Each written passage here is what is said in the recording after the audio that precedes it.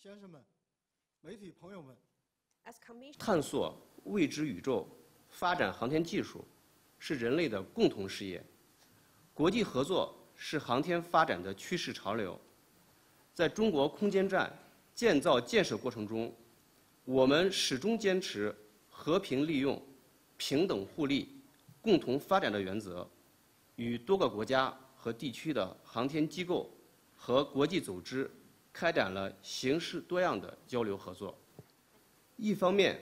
我们按照既定计划，稳步推进已有的与联合国外空司、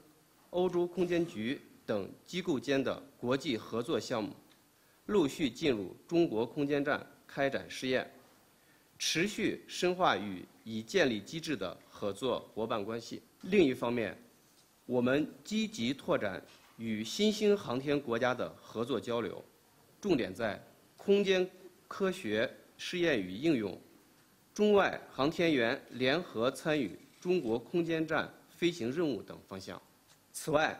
我们还积极参与空间环境治理、太空交通管理、空间资源开发利用等国际议题讨论和规则制定，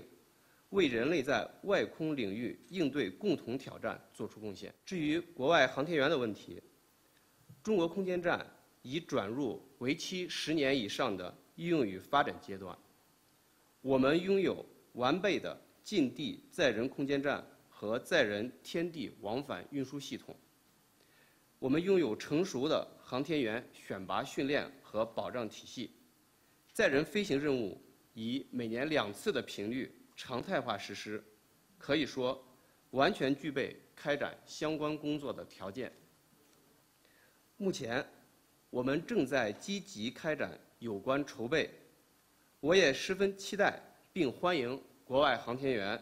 参加中国空间站飞行任务。